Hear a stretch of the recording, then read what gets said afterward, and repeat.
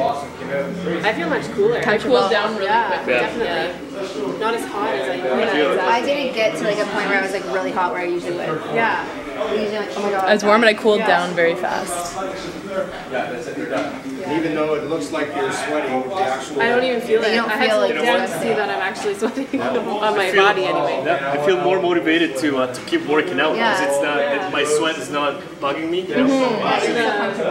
The heavy You can go longer because you're not as hot Yeah, as you normally would be. The biggest difference for me is that it's not sticking to my skin. So Yeah. the active cotton is actually absorbing the sweat, and then it's you still feel free and loose, ready to work out more. Yeah. It's not slick on the outside where you are sweating. It's kind of like dry still somehow. It's truly amazing.